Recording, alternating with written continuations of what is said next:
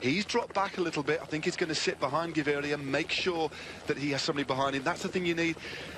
You need to constantly communicate, and it looks like Philippe Gilbert is going to look after Gaviria on this climb. So who's it going to be? We're 10 kilometres from the finish of the 108th Milano Sanremo. Trek Segafredo take it up at the front. Such a fight to take the control of the peloton going into the Poggio. This is Koen de Kort on the front. A lead-out rider, Felline, is on his wheel. Then Jordan Degenkolb in third wheel. Just behind Degenkolb is Jasper Stuyven. So Trek Segafredo really starting to light things up now. And then you have six riders from Team Sky being led, I think it is by Ian Stannard and Luke Rowe. And at the back, Elia Viviani, sitting, waiting, skin-suited up, and ready to have a go at a race. Well, he's been second on five occasions in races this year. The Olympic Omnium champion on the track, pardon me. What a way to pick up a first victory of the season this would be for him. There's Gilbert drifting a little further back. Boonen doing the same as well. We're approaching the bottom of the Poggio now. Here we go, the last big challenge. Poggio time in Milano Sanremo. Oh, they're on the Poggio, and it's Luke Rowe of Wales who takes things up at the front. Ian Stannard is also there. I think it's Danny Van Poppel in the mix as well. So Team Sky on the front, Michal Kwiatkowski in second wheel. And Tom Dumoulin fighting them for that position as well, remember. Michael Matthews must be feeling a million dollars today with the pace that they set on the last climb. He's still in this group. They've done the business of shedding the likes of Mark Cavendish out of the way. But remember, Bouhanni is still here. We've still got Degenkolb, Démare. There's a handful of sprinters who could pose problems. Gaviria as well. This is the official beginning of the Poggio then. The Poggio, the final difficulty, 3.7 kilometres, 3.7% average, a maximum, though, of 8%. This is the symbol of Well, look at this. Tom Dumoulin is intent on trying to tear this race to pieces. Van Poppel looking pretty serene on his wheel. Actually, Michal Kwiatkowski just looks round. The other rider from Team Sky there is the prodigiously talented, talented Gianni Moscon of Italy. Peter Sagan ominously sat on the back of the Team Sky train. This they is fantastic stuff. They cannot shed Peter Sagan at the minute. Remember, he's looking to become the first man to win this in the rainbow jersey since Beppe Saronni in 1983. It's been a long, long time since we had the world champion winning Milano Sanremo. And look at this from Dumoulin. He loves racing in Italy. Remember, he was in the pink jersey last year at the Giro d'Italia. He's setting a fearsome pace, but he can't get rid of anybody here yet. It's interesting that Van Poppel is riding a, just a length off his wheel all the way up this climb. Saves so much energy if he got back on his wheel, but it could be that he just could not hold the wheel. Finally, he makes contact, and look at this long, long line of riders. People trying to fight to stay in position. Great display of power here by the Dutch rider. And Gaviria is doing a great job. He's there in about 10th position as Cummings looks to move up on the right-hand side. Prompts for 187, who is Primoz Roglic there always, I think, put in the team to do a job for his teammates. Cesare Benedetti of Bora Hansgrohe dropped as well. He's done his job today. It's all down to the main men when he gets to the top here, and we will see who gets to the top of the Poggio. Crucially, who gets to the bottom, because we've got a very short distance from the bottom to the finish line to get organised. We certainly have, just over two and a half K, well, it's approximately 2K. Round this corner now. Again, the group slowly but surely thinning out. Look at the acceleration of Tom Dumoulin. Again, takes a couple of lengths out of Van Poppel. Looks around, looks a little bit frustrated that his fellow countryman cannot hold his wheel. Bouhanni's still in here as well. He's looking brilliant, the man who won the of course, uh, uh, in the midweek. Degenkolb is also there. He sat on the wheel of uh, Felline. Of course, Degenkolb knows how to ride this race. Looking really very, very comfortable at the moment. 7.4 kilometres to go halfway up the Poggio.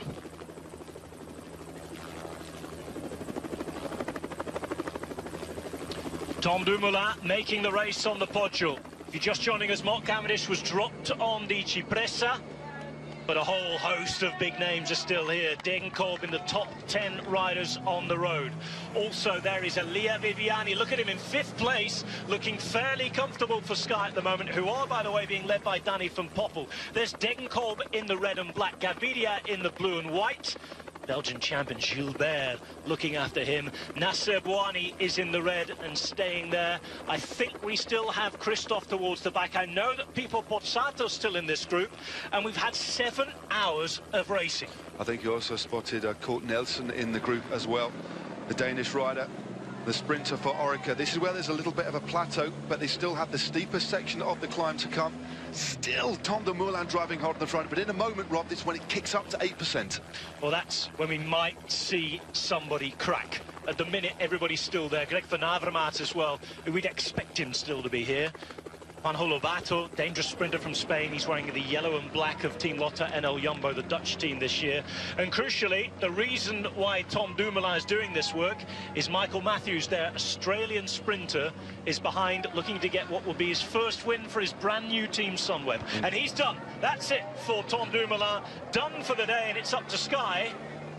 Who else can try and make it more difficult? Because at the minute, somebody has to make it difficult because Viviani's in the perfect position. Well, tell another rider that's there, just sat on the wheel of the world champion and race favourite Peter Sagan. Sonny Colbrelli is also there of Bahrain Merida. So another fine sprinter. And looks like there's an attack on the right-hand oh, side. Sagan. It's Sagan to go on the attack. Peter Sagan, the world champion. Well, he's trying to drop the sprinters on his own, and if anything's going to split it, this will. Sagan to go for Bora Hansgrohe, and if he's going to win it, he's going to win it in style. What an absolutely devastating turn of speed by the world champion. Blew Colbrelli off his will. It's Michal Kwiatkowski trying to go across now. Fantastic stuff. going with him. It's Sagan going, dropping off the sprinters that remained. Kwiatkowski's chasing, Alaphilippe is there as well. This has really thrown the cat among the pigeons. This is absolutely bike racing at its best. Can he hold clear? That was a devastating turn of speed. Alaphilippe still hasn't got into contact. Kwiatkowski also distance now. Well, Peter Sagan, who won his first monument last year at the Ronde van Vlaanderen, the 100th Ronde van Vlaanderen, He's here at the 108th Milan San Remo. He said this is the easiest race to ride, but maybe the hardest one to win. We talked about it earlier. He's often accused of doing too much, but what he's doing here... It's fantastic. Absolutely amazing. But look at the leg speed as well. He's pedaling up this climb. He's not grinding up the climb, Rob. He's pedaling up this climb with quite devastating finesse, leaving BMC and Greg Van Avermaet to chase. The race is now going away from the Olympic champion. They're onto the descent. Off the Poggio he goes. Peter Sagan taking with him Julian Alaphilippe and Michal Kwiatkowski. Well, they opened up a big gap there. That's about five or six seconds, to say the least. And we know how, we know the kind of bike handler that Peter Sagan is. Will Alaphilippe hold him on this descent? It's all about getting to the bottom and staying in the right position. Remember, Sagan was perfectly placed 12 months ago when he was caught up in a crash. This time, he doesn't want, A, the competition from the sprinters, B, the tired legs around him and the mistakes. And I think the interesting thing is, will the other two riders combine?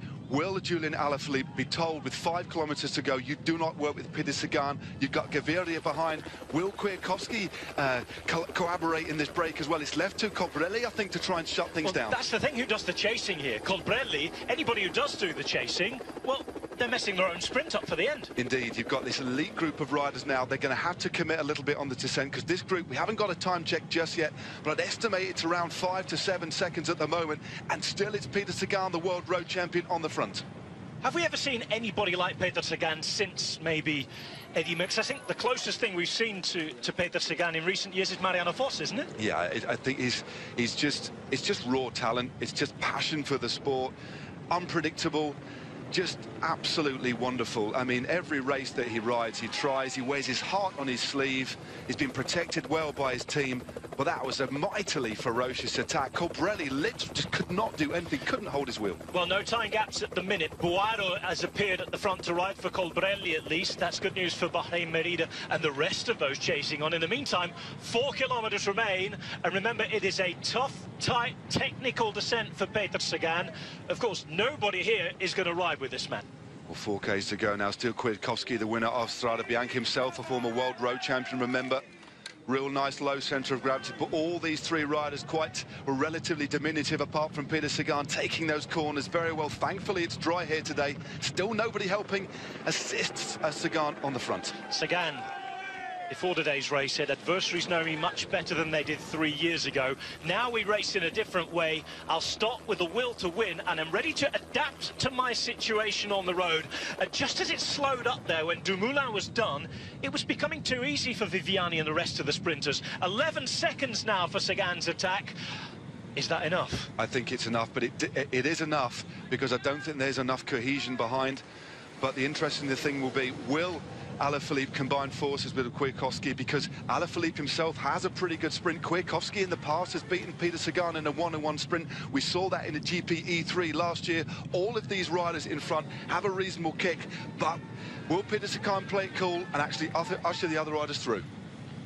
Sagan who has finished second here once in the weather-affected San Remo that was won by Gerald Ciolek in 2013. Well, Peter knows how to ride this race. 12th last year, 4th in 2015, 10th in 2014, 2nd, as you said, in 2013, then 4th in 2012. He dearly loved to add this 12 Palmares, oh, of the course. gap's growing, Matt. The gap is growing. Oh, Alaphilippe started to ride with them. Alaphilippe riding with them. Now, that is surprising.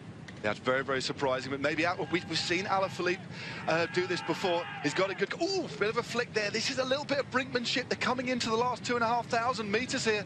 It's so crucial that they keep pressing on. Well, normally on paper you would say Sagan to beat these two comfortably in a sprint, but this isn't any ordinary race. 291 kilometres. The distance can do funny things to the body as they are off the descent of the Poggio into the town of San Remo. Now the approach to Via Roma and the finish begins. Frantically they chase behind. BMC trying to get on for Greg Van Avermaet. We have Bahrain there for Sonny Colbrelli. Quick step, if it does come back together, doesn't really matter because they've got Gaviria still in here as well. Well, and now this, this is your answer, Rob. Michal Kwiatkowski is helping with the pace-making. All of these three riders, if they continue, will end up on the podium. But who will be the winner? How much energy has Peter Sagan spent with that attack on the climb of the Poggio? Julian Alaphilippe now sits in. Has he been told that he now must sit on? We know the explosive Frenchman is very, very fast at the finish. Sagan just radios in for the final time, I think, because he comes with 1.5 kilometres to go. Trek Segafredo joined the chase because Degenkolb is there. Kwiatkowski starts to commit to the move as well. Really, really interesting to see how it goes. Alaphilippe has definitely been told to sit on. His uh, director sportif, Davide Bramati, will be acutely aware of this situation. You cannot afford to tow Sagan to the line. 15 seconds now.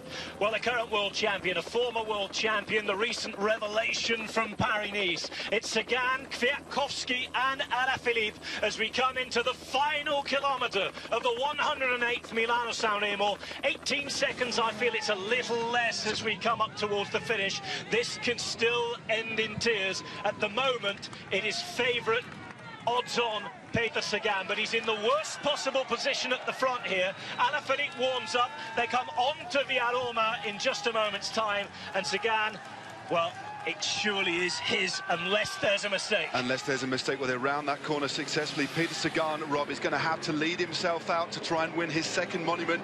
Can he do it?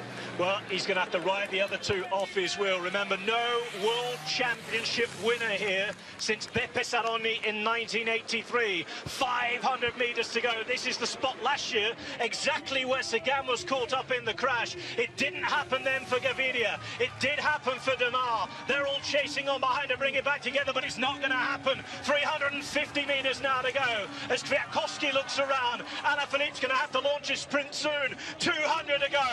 It's Sagan on the front. He was victorious in Kuurne Brussels Kuurne. He's putting up the gap, but closing on him is Kwiatkowski. Oh, surely he can't do it, can he? Kwiatkowski's coming round. Sagan's going to be beaten. It's Kwiatkowski who's going to do it.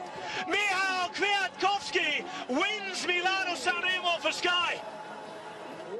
Sagan at the front all the way. Kwiato does it. Well, what an absolutely thrilling finale. They nearly came together in the final there, but it was the Polish rider who adds Strada Bianca to his, to, adds this win to his win in Strada Bianca. What an absolutely remarkable finale. What a thrilling edition of Milan San Remo, and what a worthy winner. Oh, Michal Kwiatkowski, world road champion in Spain. Michal Kwiatkowski wins a monument here. Sky, who had six men coming into the Poggio at the end, it was they who chased down quickly, who rode to close the gap along